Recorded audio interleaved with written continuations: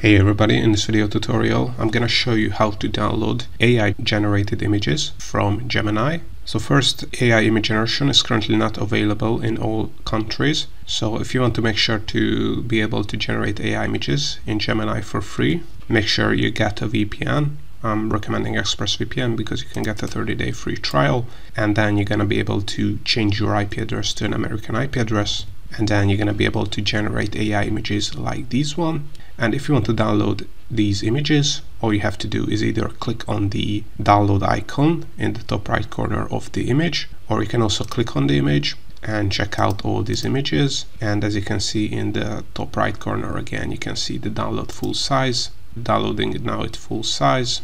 And now we're gonna be able to open it up in our computer. So as you can see here, and the great thing about AI generated images in Gemini is that we don't even get a watermark here. So as you can see, there is no watermark here that this was generated with Gemini. So all this is how you can download. These are the two ways how you can download AI generated images from Gemini.